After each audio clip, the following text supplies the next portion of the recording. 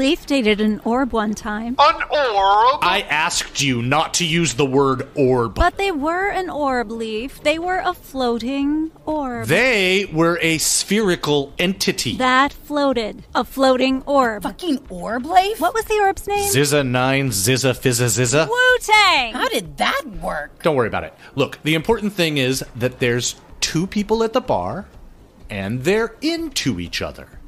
What follows is a frank conversation with your chosen partner for the evening, and then a fun trip to that vending machine right there. What happens at the vending machine? It's like going to Europe.